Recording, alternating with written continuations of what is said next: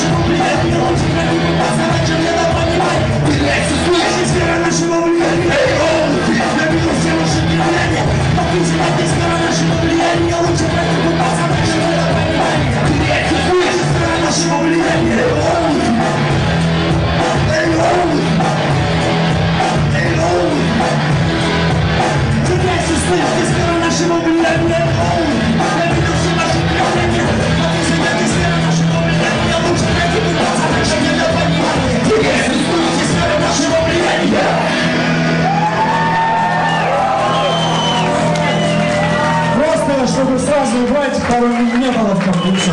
Да, Вика!